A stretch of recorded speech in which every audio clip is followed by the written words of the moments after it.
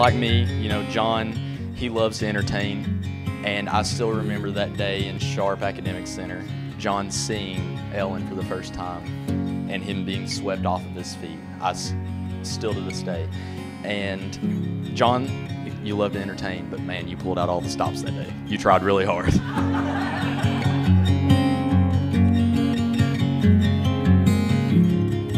Ellen, we always talked about this day, and now we're finally here. It didn't take long for me to see that you were the one I wanted to spend my life with.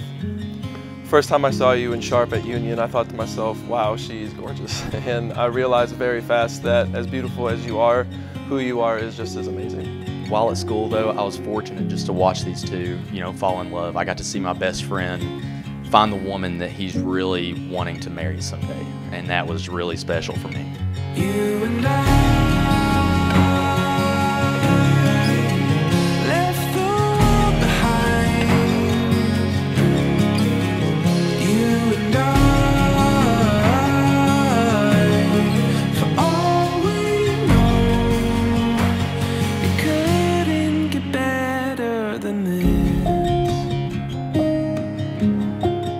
Ellen has a heart of gold.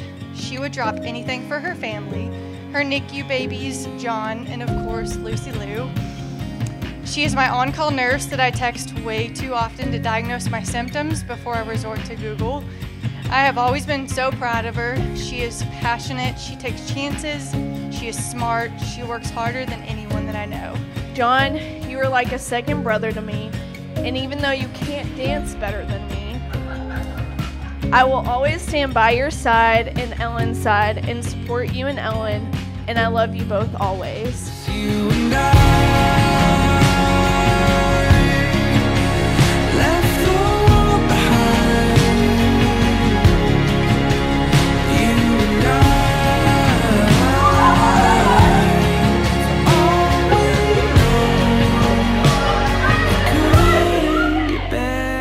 Make everyone you come into contact with smile, and you always will. Your passion for others is a shining quality in your life. I can't wait to share it with you. You have allowed me to grow in my faith and love and, see, and how I see the world. Being your little sister has been one of the greatest blessings in my life.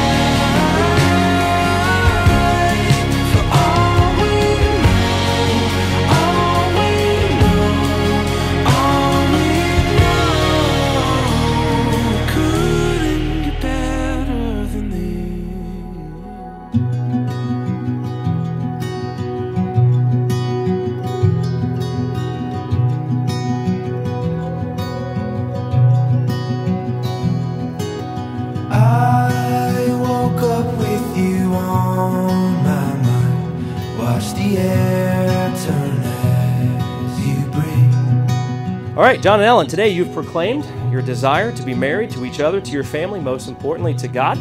You have promised vows of love and devotion to each other from the heart. Uh, you have given rings to be a reminder to yourself and as a symbol to the world of your vows and promises made today. Whew, the best part, my favorite part, man. Therefore, by the power vested in the state of Michigan, Kentucky, and more importantly, as a minister of the gospel of Jesus Christ, I now pronounce that you are husband and wife. So, in the mortal words of Rocky Balboa, ding ding, let's get it on.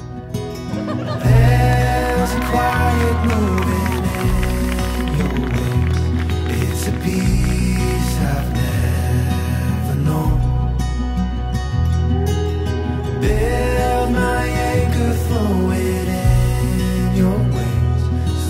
down and call you home.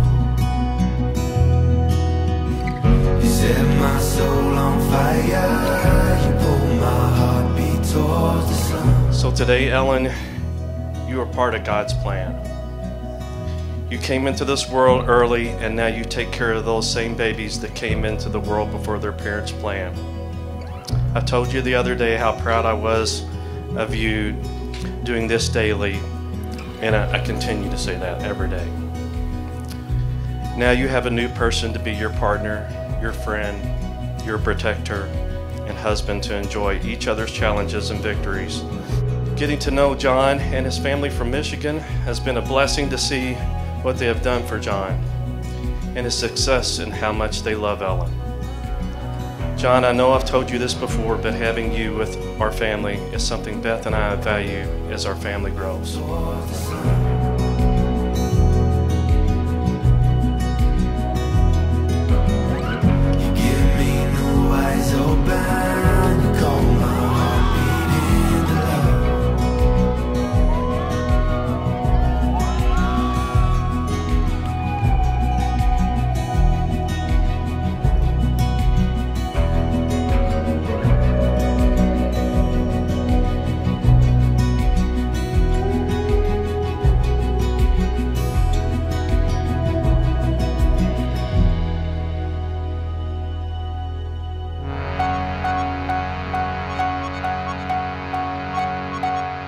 We have been through so much together, and every single hardship we have ever faced has led us to where we are right now.